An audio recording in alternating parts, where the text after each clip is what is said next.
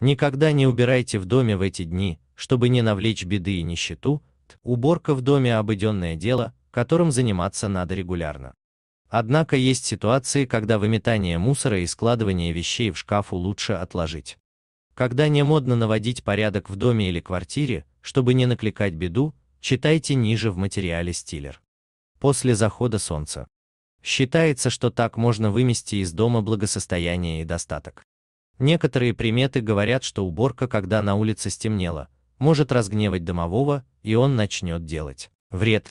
А эзотерики говорят, что после наступления темноты в доме начинают действовать другие силы.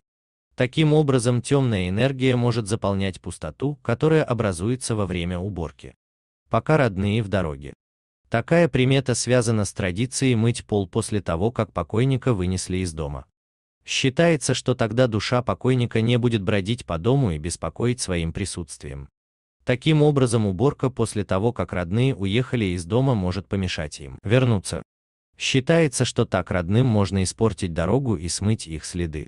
После сватовства и смотрин. В день сватовства в доме обоих молодоженов убирать нельзя. Иначе свадьба может отмениться.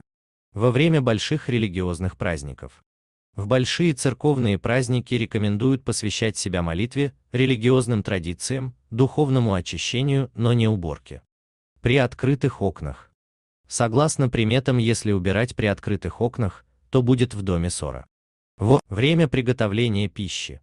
Считается, если убирать в доме параллельно с приготовлением блюд, то в доме не будет хватать еды. Ранее мы писали, какие вещи нельзя выбрасывать из дома, чтобы не навлечь беды и несчастья.